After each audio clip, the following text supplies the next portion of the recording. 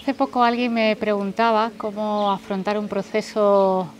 eh, de duelo o cómo prepararse un poco cuando hay una situación que está a punto de terminar, cuando hay un final, cuando hay una muerte.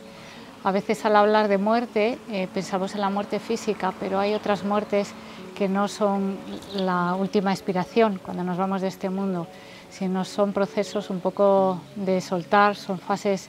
que se terminan, ciclos que concluyen y a veces la gran dificultad cuando se acerca a ese momento final es, es como eh, soltar,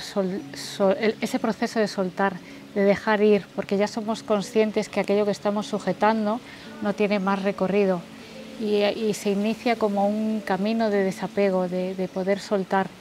A veces nos damos cuenta que estamos muy apegadas a creencias o a situaciones o a identidades o a personas de nuestra vida